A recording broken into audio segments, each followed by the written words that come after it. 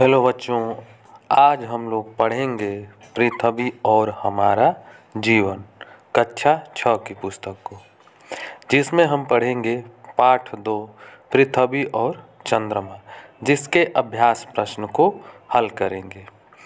प्रश्न एक, निम्नलिखित प्रश्नों के संक्षेप में उत्तर दीजिए। क, चंद्रमा हमें तारों से बड़ा क्यों दिखाई देता है। तो इस प्रश्न का उत्तर हो जाएगा, चंद्रमा पृथ्वी के अधिक निकट होने के कारण तारों से बड़ा दिखाई देता है। ख, हम चंद्रमा का एक ही भाग क्यों देख पाते हैं? तो इस प्रश्न का उत्तर हो जाएगा चंद्रमा अपने अक्ष पर घूमते हुए 27 दिन 7 घंटे और 43 मिनट में पृथ्वी का एक चक्कर पूरा करता है। परंतु इस अवधि में पृथ्वी भी सूर्य की परिक्रमा करते हुए अपनी कक्षा में आगे बढ़ जाती है। इसलिए पृथ्वी पर किसी स्थान के ऊपर से पूरी पृथ्वी की परिक्रमा करके फिर उसी स्थान के ऊपर आने में चंद्रमा को 29 दिन 12 घंटे और 44 मिनट लगते हैं।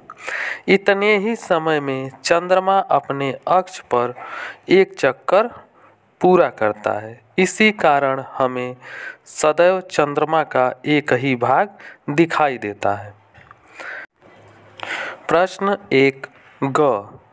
चांदनी किसे कहते हैं? तो इस प्रश्न का उत्तर हो जाएगा। चंद्रमा सूर्य के प्रकाश से प्रकाशित होता है। यह सूर्य के प्रकाश को परावर्तित करता है, जो हमारी पृथ्वी पर लगभग एक दशमलव दो पाँच सेकेंड में पहुँचता है। इस प्रकाश को ही चांदनी कहते हैं। प्रश्न एक, घ, भारत के प्रथम अंतरिक्ष यात्री कौन थे? तो इस प्रश्न का उत्तर हो जाएगा, भारत के प्रथम अंतरिक्ष यात्री राकेश शर्मा थे। प्रश्न एक अंग।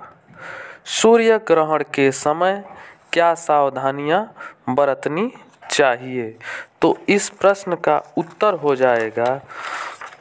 वैज्ञानिकों के अनुसार सूर्य ग्रहण के समय सूर्य से खतरनाक किरणें निकलती हैं। ये किरणें हमारी आँखों के लिए हानिकारक हैं और हमें अंधा भी बना सकती हैं। इसलिए सूर्य ग्रहण को नंगी आँखों से नहीं देखना चाहिए, बल्कि इसे वैज्ञानिकों द्वारा निर्धारित विशेष चश्मे से ही देखना चाहिए।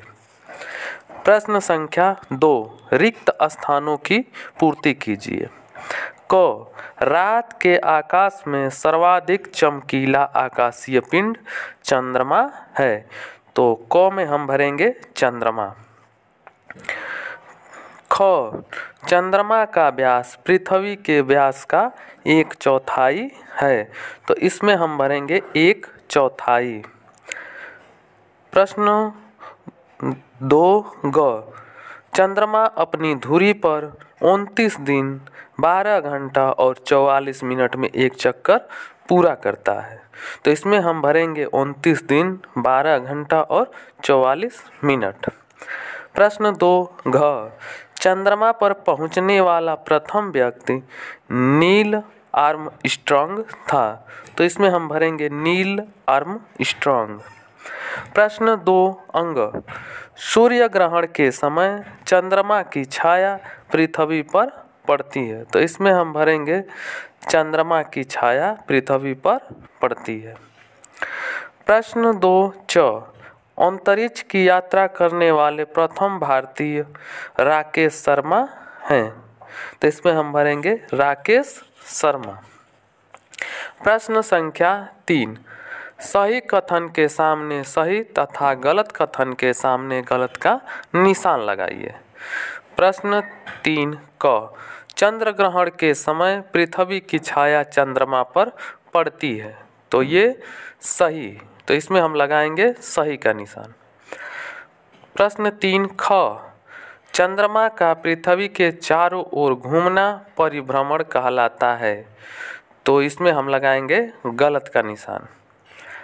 प्रश्न तीन ग सूर्य ग्रहण को नंगी आँखों से देखना चाहिए। तो इसमें हम लगाएँगे गलत का निशान। प्रश्न तीन घ, आर्यभट्ट ने सूर्य ग्रहण एवं चंद्र ग्रहण की वैज्ञानिक व्याख्या की थी। तो इसमें हम लगाएँगे सही का निशान। प्रश्न संख्या चार, स्तंभों का सही मिलान कीजिए। युति तो युति का मिलान हम करेंगे अमावस्या से। प्रथम अंतरिक्ष यात्री तो इसका हम मिलान करेंगे यूरी गागरीन से। वियुति तो वियुति का हम मिलान करेंगे पूर्णिमा से।